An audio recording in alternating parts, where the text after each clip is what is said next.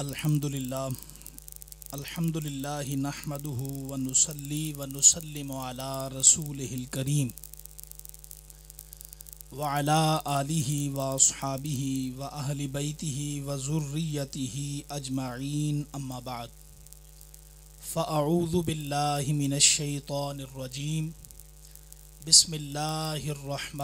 रहीम लक़द कान लकुम फ़ी रसूलिल्लाहि उसवतुन हसनह। सदक़ल्लाहु मौलाना अज़ीम। व बल्लगना रसूलुहुन नबियुल करीमुल अमीनुर रऊफ़ुर रहीम। सब अहले मोहब्बत, बड़े अदब एहतराम के साथ हुजूर नबी करीम सैयद आलम की बारगाह में हदिया दरूद सलाम पढ़िए। सलातु वस्सलाम अलैका या सैयदी या रसूल अल्लाह अस्सलातु वस्सलाम अलैका या सैयदी या हबीब अल्लाह या सैयद अल मुरसलीन व अला आलिका व अस्हाबिका या आलमीन इंतहाई इज़्ज़त व तकरीम के लायक स्टेज पर तशरीफ़ फरमा मेहमाना ने गिरामी कदर और पिंडाल में तशरीफ़ फरमा, गार्डन टाउन के गयूर नबी करीम सैद आलम इस्लाम से मोहब्बत करने वाले आपके ग़ुलाम, अपने महबूब आका जनाब मोहम्मद रसूलुल्लाह सल्लल्लाहु की मोहब्बत और आपके इश्क के नाम से और आपके मिलाद शरीफ के नाम से मुनदा इस महफ़िल में तशरीफ़ फरमा हुए। यकीन मानिए, ये इस इलाका की, ये एक इनफरादियत है कि सारे अहबाब वो महाफिल या वो मीटिंग्स, वो इजलास जिसमें हवाला नबी करीम सैद आलम का हो या दीन का हो, सब अहबाब उसमें जिस मोहब्बत, जिस ज़ौक़ और शौक़ के साथ शिरकत फरमाते हैं ये इनकी गैरत ईमानी का मुँह बोलता सबूत है। और माशाल्लाह जिस नज़म के साथ ये महफिल एक अरसा से इनका पजीर हो रही है, ये मोहतरम तोकीर साहब और इनके असलो फ़रू जिस मोहब्बत के साथ इसका इनका कर रहे हैं, दुआ है अल्लाह ताला इस खैर के अमल को सुबह क़यामत तक आबाद रखे। और सब अहबाब की इस हाज़री को अपनी बारगाह में शरफ़ कबूलियत बख्शे। अहबाब जी वकार वक़्त मुख्तसर है। दिए गए वक़्त में ही इन मैं अपनी गुफ्तु को इसके अख्ताम तक पहुँचाने की कोशिश करूँगा। हज़रत मोहतरम, अल्लाह करीम के प्यारे महबूब सैद आलम के इस इंसानियत पर इतने एहसानात हैं कि मैं अगर ये बात कहूँ तो ये गलत ना होगी कि इंसान के जिस्म पर उतने बाल नहीं हैं जितने मोहम्मद रसूलुल्लाह के एहसानात उस पर मौजूद अल्लाह करीम ने महबूब करीम सैद आलम इस्लाम की ज़ात को सरापा हुसन और सरापा एहसान बना के भेजा है। जो आयत मैंने तिलावत की है, हम इसी के मौजू के मुतालिक चंद बातें सीखते हैं। रब करीम ने इरशाद फरमाया, लक़द कानकुम फ़ी रसूल उसवतन हसना। कि तहकीक तुम्हारे लिए अल्लाह के रसूल में उसवा हसना है। अहबाब जी वकार, ये उसवा क्या है? मैं इसको ज़रा इस तरह एलेबोरेट करूँगा कि इंसान की ज़िंदगी के जो पहलू हैं, चाहे वो उसका अंदाज माशरत हो, वो अंदाज मीशत हो अंदाज तकल्लुम हो ख़ानदानी ज़िंदगी हो, सियासी ज़िंदगी हो, इंसान की ज़ाती ज़िंदगी हो, आदाब जंग हों, आदाब सुलह हों, आदाब मना हो, आदाब अता हो, ज़िंदगी के जमी पहलुओं को जिस लफ्ज़ से लगत में ताबीर किया जाता है, उसे उसवा कहा जाता है। रब करीम ने इरशाद फरमाया, लक़द कान लकुम फ़ी रसूल उसवतन हसना। फरमाया तुम्हारे लिए रसूलुल्लाह में उसवा हसना है। उलमा तशरीफ़ फरमा है, अरबी जानने वाले, और इस भी तशरीफ़ फरमा है, प्रोफेसर तशरीफ़ फरमा है। अगर अरबी लगत के इस पहलू को देखा जाए रब करीम ने यह नहीं फरमाया, मिन रसूल मिन रसूल नहीं फरमाया फरमाया फ़ी रसूल मिन रसूल होता तो ये इस बात का शायबा हो सकता था कि मिन यहाँ पे तबाइदिया है या तशर्रफिया है? यानी रसूल पाक सैद आलम की ज़ात का कुछ हिस्सा उसवा है। या अल्लाह ने वैसे ही शरफ के तौर पे फरमा दिया कि मेरे रसूल की ज़ात से उसवा हसना है। नहीं नहीं। अल्लाह ने ना शरफ के लिए कहा, ना बात के तौर पे बयान किया, बल्कि फरमाया, फ़ी रसूल उसवत हसना। लोगो मेरे महबूब के कुछ अदवार, कुछ अतवार, कुछ अखलाक, कुछ आदात या ज़िंदगी का कोई पहलू सिर्फ़ उसवा हसना नहीं है। मेरे महबूब सर के बालों से लेकर पाओ के नाखनों तक सारा सरापा ही तुम्हारे लिए उसवा हसना बना के भेजा। तो फिर क्यों ना कहें, सर से लेकर पाँव तक तनवीर ही तनवीर है गुफ्तगु सरकार की, कुरान की तफसीर है और सोचती तो होगी दुनिया। मुस्तफ़ा को देखकर, अरे वो मुसवर कैसा होगा जिसकी ये तस्वीर है। फ़ी रसूल उसवतन हसना। फरमाया, मेरे रसूल का जो अंदाज करम है मेरे महबूब की अंदाज मुआशरत है। मेरे नबी करीम सलाम का अंदाज बयां है। मेरे महबूब का मांग निकालना, मेरे महबूब का खाना खाना, मेरे महबूब का लिबास पहनना, मेरे महबूब का जंग करना, मेरे महबूब का सुलह करना, मेरा मेरे महबूब का किसी को अता फरमा देना, मेरे महबूब का किसी को मना कर देना, मेरे महबूब का नमाज़ पढ़ना, जक़ात देना और ज़िंदगी के जितने मामलात हैं, लोगों, अगर हिदायत चाहते हो, अगर अमन चाहते हो तो समझ लो मेरे महबूब के तर्ज अमल पे चलो, ज़िंदगी का बेहतरीन मैार मेरे महबूब के कदमों से ही तुम्हें मिले। और आप ये भी गौर फरमाएँ कि ज़माने में गुफ्तगु करने के बड़े अंदाज आए।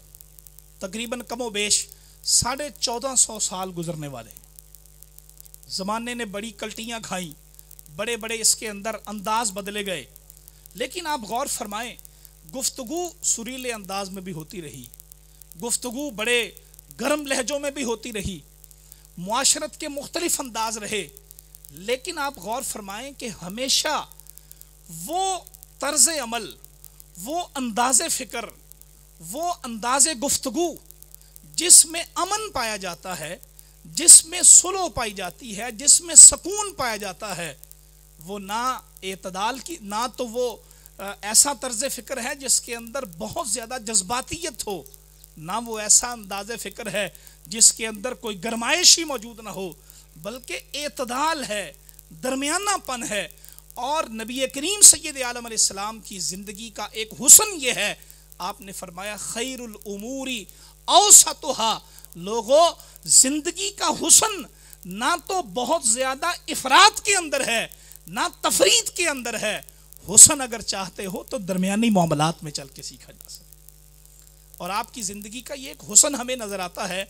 और इसीलिए जनाब हज़रत प्रोफेसर डॉक्टर मोहम्मद इसहाक कुरैशी, मरहूम आप गवर्नमेंट कॉलेज यूनिवर्सिटी फैसलाबाद के आप प्रिंसिपल भी रहे हैं। आप फरमाया करते थे कि ज़माना अगरचे तिरसठ हज़ार साल की कल्टियाँ भी खा ले। ज़माना तिरसठ हज़ार साल तब्दीलियाँ भी खा ले, लेकिन वो महबूब करीम सलाम के गुजारे हुए तिरसठ सालों से बाहर नहीं जा सकता। इसलिए कि अगर मुआशरा अमन चाहता है, अगर मुआशरा सकून चाहता है, अगर ये अपने अंदर एतदाल चाहता है, अगर ये अपने अंदर दुरुस्तगी चाहता है तो इसे आना होगा उसी तरफ़ जिन रास्तों पे मोहम्मद रसूलुल्लाह चल के गए। और आप आगे देखिए, बात यहाँ पे ख़त्म नहीं होती। रब करीम ने फरमाया, लक़द काना लकुम फ़ी रसूल उसवतुन हसाना। फरमाया, मेरे महबूब का उसवा जो है, मेरे महबूब की ज़िंदगी हसना है, इसके अंदर हुसन है।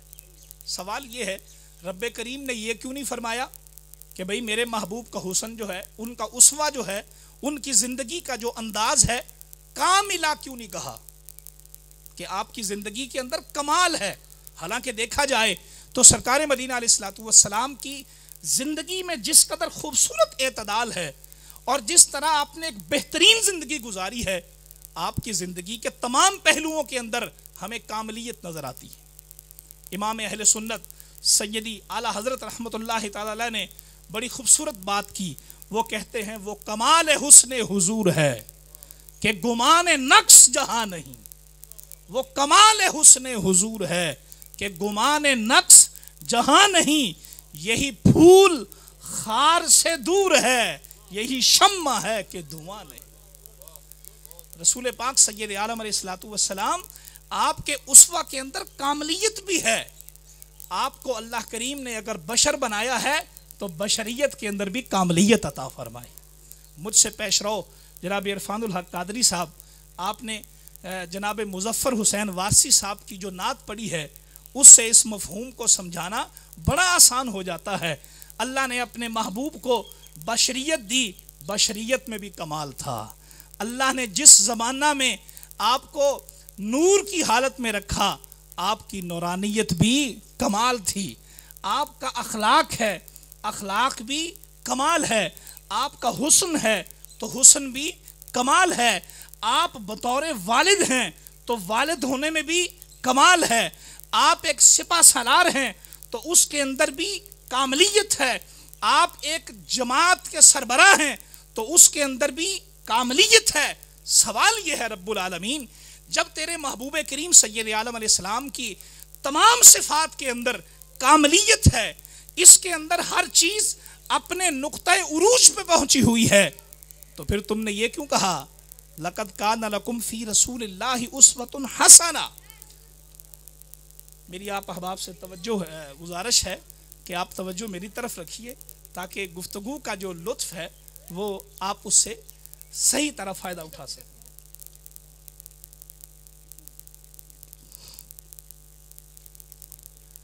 जी। रब करीम ने फरमाया लकत कान लकुम फ़ी रसूल उसवतुन हसना। जो मेरी सबका गुफ्तु है, उसके मुताबिक ये है, रब्बुल तेरे महबूब के अंदर जितने भी औसाफ हैं, जितनी भी सिफात हैं, तेरे महबूब की ज़िंदगी के जितने भी पहलू हैं, उन सब के अंदर हमें कामलियत नज़र आती है।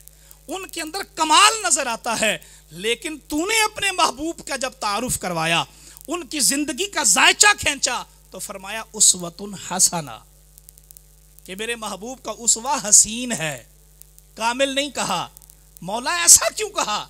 तो रब्बुल आलमीन आपके इस इरशाद गिरामी और नबी करीम सलाम के तर्ज अमल की रोशनी में हम इस बात को समझते हैं कि रब करीम ने कामिल क्यों नहीं फरमाया?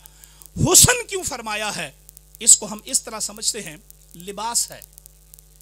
अगर किसी माँ बाप से पाँच छः बच्चे हैं, वो औलाद अगर से लिबास खरीदने जाए तो वो किसी भी ब्रांड का कोई लिबास खरीदे तो वो तमाम कपड़े, वो तमाम जो तंद हैं, वो सब अच्छे हैं। एक ब्रांड के हैं तो उनकी जो साख्त है, उसके अंदर जो धागा इस्तेमाल हुआ है, वो तो एक जैसा है ना। लेकिन क्या होगा? बड़ा हो सकता है किसी और रंग को पसंद करे। छोटा और रंग को पसंद करे। तीसरा भाई और रंग को पसंद करे। चौथा और रंग को पसंद करे। पांचवा और रंग को पसंद करे। इसी तरह हम अपनी ये शूज़ खरीदते हैं। हश पपीस पे चले जाएँ। वो तमाम शूज़ अपनी बनावट के अंदर कामिल हैं। लेकिन जो मेरा इंतखाब है हुसन का, हो सकता है आपका ना हो। जो आपका हो, वो मेरा ना हो। जो गैर का है, वो उसका ना हो। जो उसका है, वो किसी और का ना हो। तो हज़रत मोहतरम, पता चला कि चीज़ें अपनी कामलियत में उरूज पर भी क्यों ना हो? लेकिन इंसानों के अंदर जो इंतखाब का हुसन है, उसमें बहरहाल इख्तलाफ है। रब करीम ने यह मिसाल बिला तमसील है मैं इन मिसालों के साथ रसूल पाक सलाम की शान को बयान नहीं कर रहा, मैं सिर्फ़ समझा रहा हूँ। रब करीम ने फरमाया, लकद कान लकुम फ़ी रसूल उसवतुन हसना। मेरे महबूब का उसवा कामिल तो है ही। ये हसीन इसलिए है कि हो सकता है कामिल चीज़ों के इंतखाब में किसी को पसंद हो, किसी को पसंद ना हो। इसको पसंद हो उसको पसंद ना हो। फरमाया, ये दुनिया का मैार है। मेरे महबूब का हुसन ये है। देखने वाला शर्क का हो, गरब का हो, आसमान का हो, ज़मीन का हो। कामलियत तो मेरे महबूब में है ही। जो देखता है, वो दिल पहले मेरे महबूब के हुसन पे कुर्बान कर देता इस्लाम लाना तो बात की बात है। नबी करीम सलाम का गुलाम होना तो बात की बात है। आपकी ज़िंदगी का एनालिसिस करना, आपके शब रोज को देखना और समझना कि ये अल्लाह के नबी हैं कि नहीं है। और ये तो बात की बात है, वो देखता रहे, जितना मर्ज़ी गौरव फ़िक्र करे, उसको कोई नक्स नज़र नहीं आएगा। मेरे महबूब के उसवा में हुसन इतना है, जो देखता है, वो दिल पहले आपके हाथ में कुर्बान कर। आइए इस इस फ़िक्र को यूँ समझते हैं। हुजूर सैद आलम सलाम जब मक्का से मदीना तशरीफ़ फरमा हुए तो हज़रत अब्दुल्ला बिन सलाम रज़ी अल्लाह तन हो आप यहूद के बहुत बड़े आलम दीन थे। हज़रत अब्दुल्ला बिन सलाम कहते हैं कि मैं नबी करीम सलाम जब मदीना आलिया में तशरीफ़ लाए तो मैं देखने के लिए निकला। अब अभी आप देखिए, ईमान नहीं लाए। अब अभी अभी जो है, उन्होंने रसूल पाक सलाम का कलमा नहीं पढ़ा, सिर्फ़ ये देखने के लिए कि ये नबूवत के दावेदार हैं, इनको देखा जाए। अब हज़रत अब्दुल्ला बिन सलाम कहते हैं कि नबी पाक सैद आलम इस्लाम जब मदीना आलिया में दाखिल हुए, इन फजल नास इन फजल नासु लोगों ने जमा होके, लोगों ने एक जमीयत के अंदाज में, लोगों ने एक जलूस के अंदाज में रसूल पाक सलाम का इस्तकबाल किया। आप अहबाब गौर फरमाइए, अगर मदीना के उस दौर के हालात वाकयात में इंसानों का मिजाज ये रहा है कि जब कोई बड़ा आए, को काबिल कदर आए तो लोग उठ के, आगे बढ़ के, एक जलूस और एक माइत की शक्ल में उसकी आमद की खुशी भी मनाते हैं और उसका इस्तकबाल भी करते हैं। तो यारो इस बहस में ना जाओ, ये कहाँ लिखा है, कहाँ लिखा है। अहले मोहब्बत का ये वतीरा 1400 साल पहले भी था और ये आज भी कायम है। हजूर सैद आलम इस्लाम की आमद की खुशी मनाना ये तब भी था और आज भी है। और ये जो एक खूबसूरत गुलदस्ता सजा बैठा है, ये भी उसी सुन्नत की सुन्नत को अदा करते हुए। इन फजल नास फरमा लोग जमा हुए। और लोगों की ज़ुबान पे कलिमा क्या था? लोग कहते थे, कादिमन नबी सल्लल्लाहु अलैहि वसल्लम कादिमन नबी सल्लल्लाहु अलैहि वसल्लम ये तिरमिजी के अल्फाज हैं और दीगर रिवायात में है जा मोहम्मद जा रसूलुल्लाह। लोग कह रहे थे, लोगो, मोहम्मद करीम आ गए, अल्लाह के रसूल आ गए। इन कलिमात के साथ लोगों ने नबी पाक सलाम का इस्तकबाल किया। मुझे बताएँ, ये ज़ुबान अरबी है, ये कुरान की ज़ुबान है जिसमें जा मोहम्मदन कहा जाता है, जिसमें जा रसूल सल्लल्लाहु अलैहि वसल्लम कहा जाता है। अगर इसका हम फारसी में तर्जमा करें तो वो क्या बनता है? आमद मुस्तफ़ा, मरहबा मरहबा, आमद मुस्तफ़ा, मरहबा मरहबा। ये कोई जुबानों की अंदाज और एक्सप्रेशन का फ़र्क है। मोहब्बत वही है जो मदीने वालों ने की थी या जो आज पाकिस्तान वाले कर रहे तो क्या फरमाया? लोगो, मोहम्मद रसूलुल्लाह तशरीफ़ ले आए। हज़रत अब्दुल्ला बिन सलाम कहते हैं कि मैं चूँकि आपको देखने के लिए गया था तो फरमाते हैं कि मैंने लोगों की भीड़ में ज़रा अपना चेहरा आगे बढ़ा के जब मैंने रसूल पाक सैद आलम को देखा, अब ये देखिए लकत कान लकुम फ़ी रसूल उसवतन हसना। कामलियत अपनी जगह। वो तो बातें बात की, कोई देखेगा, गौर व फ़िक्र करेगा, लेकिन उसवा के अंदर हुसन इतना है कि जो एक दफ़ा देखता है, वो दिल कुर्बान किए बगैर रहता नहीं है। हज़रत अब्दुल्ला बिन सलाम कहते हैं कि मैंने जब लोगों की भीड़ में से रास्ता बना के रसूल पाक सैद आलम सलाम के चेहरे मुबारक को देखा तो पहली नज़र पड़ी तो मेरे दिल ने यह गवाही दी कि इन न वजह लई सब वजह कजाब अब्दुल्ला बिन सलाम, तू बड़ा आलम दीन है। तू चीज़ों को परखना जानता है, लेकिन याद रख, इतना हसीन चेहरा किसी झूठे का हो सकता ही नहीं। यह है महबूब की ज़िंदगी का हुसन, कि अभी गौर फ़िक्र बाद में है, अभी जनाबे वाला ज़िंदगी का एनालिसिस बाद में है, अभी गुफ्तो शुनीद और जनाबे वाला ये जो अंदाज तकल्लुम और दलाइल की दुनिया बाद में पड़ी है, वो बाद में देखी जाएगी, लेकिन सरापा हुसन इतना अच्छा है जो देखता है, अपने दिल को कुर्बान कर देता है। अब आप जी वकार, मैं अपनी गुफ्तगु का अख्ताम इस बात पर कर रहा हूँ कि आप गौर फरमाएँ इसमें हमारे लिए बड़ा एक अमली पहलू है इसी हदीस पाक के अंदर। हज़रत अब्दुल्ला बिन सलाम कहते हैं कि नबी पाक सलाम जब मदीना में आए, अभी रियासत मदीना कायम नहीं हुई। ये बिल्कुल आगाज़ के दिन है। रियासत मदीना कायम नहीं हुई, अभी कोई उसूल जवाबत तय नहीं हुए अभी यहूद और नसारा के साथ माहदे नहीं हुए, कुछ भी नहीं है। लेकिन नबी पाक सलाम के उस का हुसन देखिए। आप आए, आप फरमाते हैं अब वालो मा कल्लमा। कि वो पहली गुफ्तगु जो रसूल पाक सलाम ने मदीना आलिया में आके की, वो क्या थी? फरमाया, आपने फरमाया, लोगो अफशुसलाम एक दूसरे को सलाम किया कर।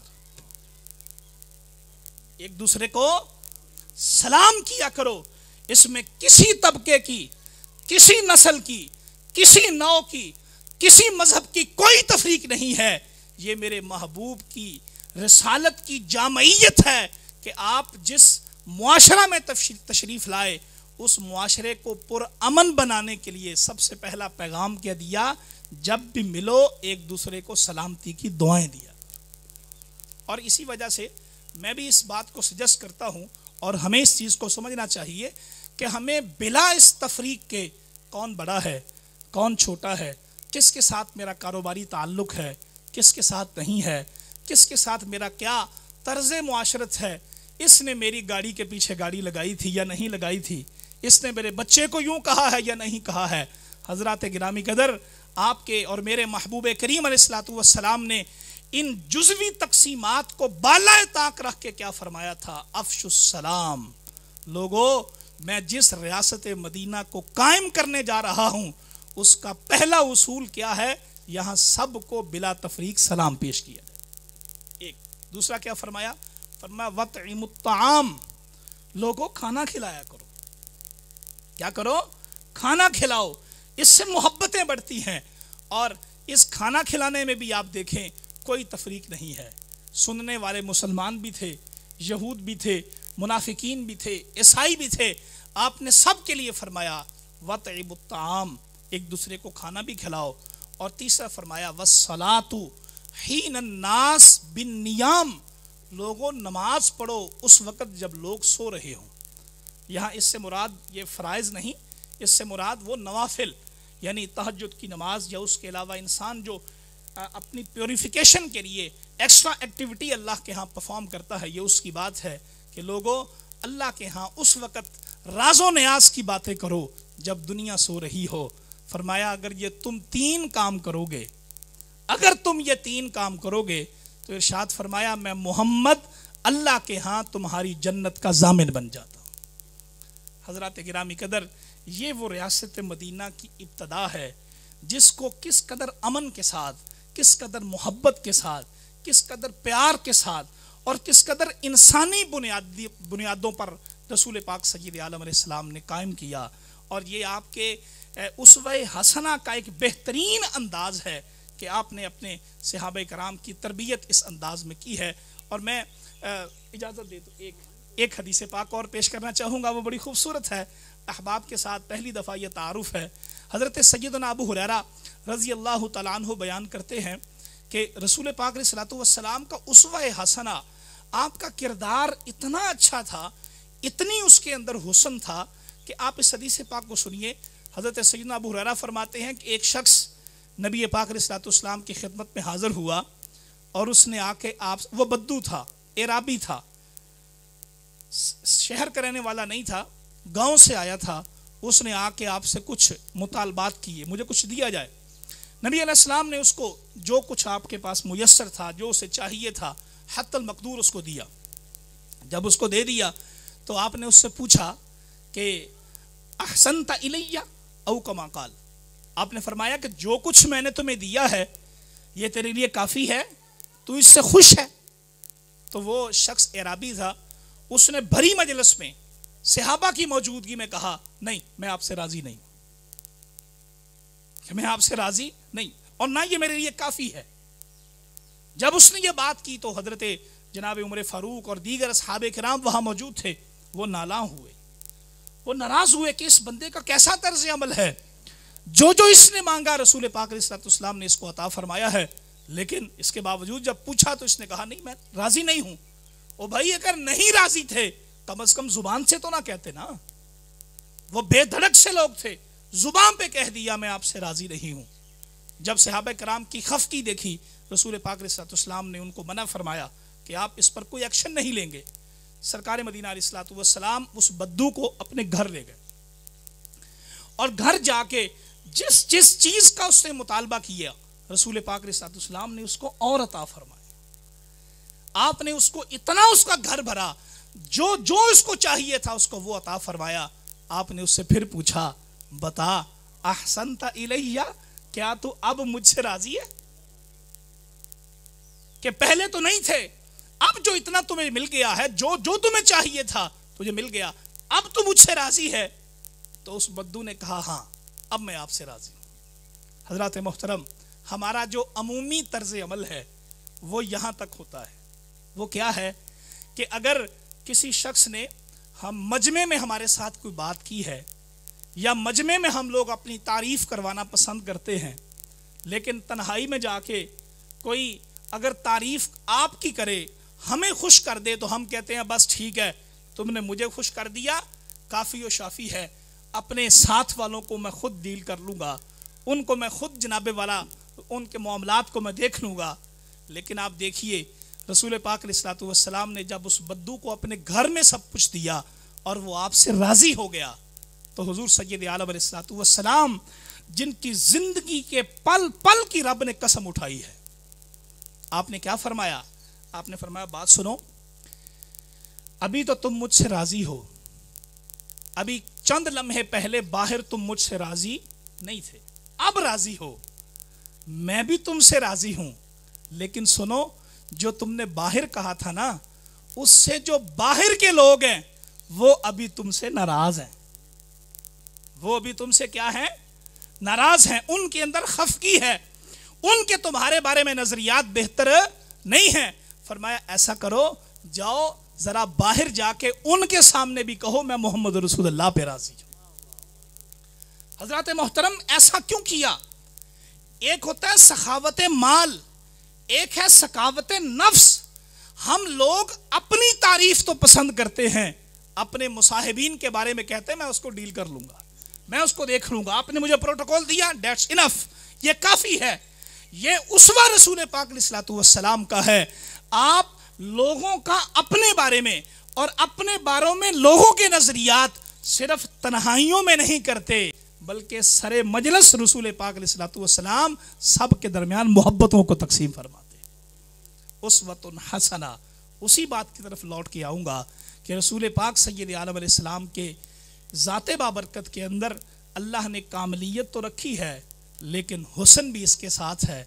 और डॉक्टर साहब का वो जो जुमला बड़ा खूबसूरत है, हम ज़माने में रहने वाले चौदह हज़ार साल भी पलट के आ जाएँ, अगर हम प्रॉस्पेरिटी चाहते हैं, अगर हम अमन चाहते हैं, अगर हम मोहब्बत का बोलबाला चाहते हैं, अगर हम ख़ानदान के अंदर सुकून चाहते हैं तो हमें रसूल पाक सलाम के तिरसठ सालों को अपनाना होगा। अगर हम उसको अपनाएँगे, अल्लाह यकीनन हमारी ज़िंदगी भी बेहतर बनाएगा, हमारी आखरत भी बेहतर बनाएगा। और खालद बिन खालद महमूद खालद साहब ने कि इन अशार के साथ गुफ्तु ख़त्म करता हूँ। आपने कहा था, अब मेरी निगाहों में जचता नहीं कोई। आह, अब मेरी निगाहों में जचता नहीं कोई। वो जैसे मेरे सरकार हैं, वैसा नहीं कोई। होता है जहाँ ज़िक्र मोहम्मद के करम का, उस बज्म में महरूम तमन्ना नहीं कोई। और फरमाया ए जरफ नज़र देख मगर देख अदब से। ए जरफ नज़र देख मगर देख अदब से। सरकार का जलवा है, तमाशा नहीं कोई। वाखरुदावाना